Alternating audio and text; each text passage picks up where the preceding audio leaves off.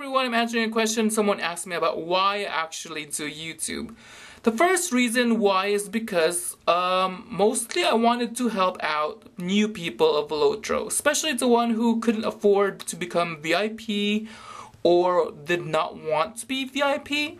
So basically I started off by making a tutorial on how to farm turbine points using rep.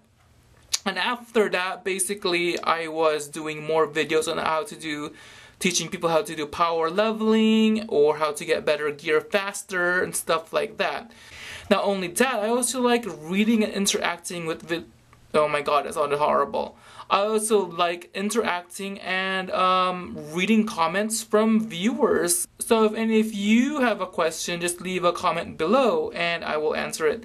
So yeah, so mostly I started making YouTube videos because I wanted to help out uh, new people in Lotro. There you guys go. Thanks for watching, uh, subscribe, share, and I think I already mentioned my video detail. If I haven't, then just check my video detail to go to see my um, in my other social media sites. So thanks guys for watching. Take care.